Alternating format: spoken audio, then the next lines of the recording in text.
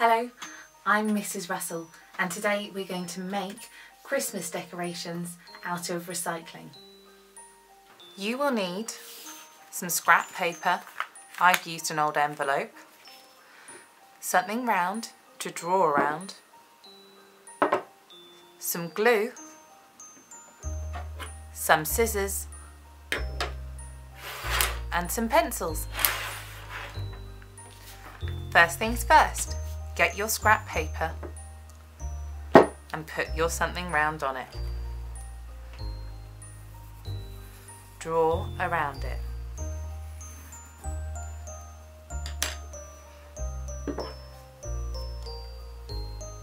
Now, carefully, you're going to cut round to make a circle. This will be our bauble shape.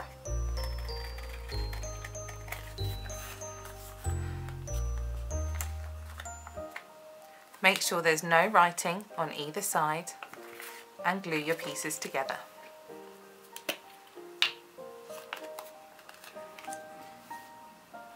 Perfect. Now you're ready to decorate.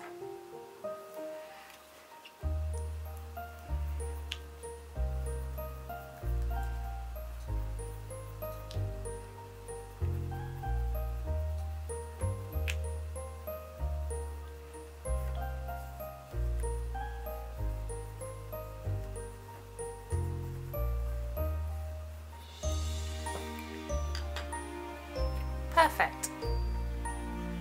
My bauble is ready to be laminated and hung up on the Christmas tree.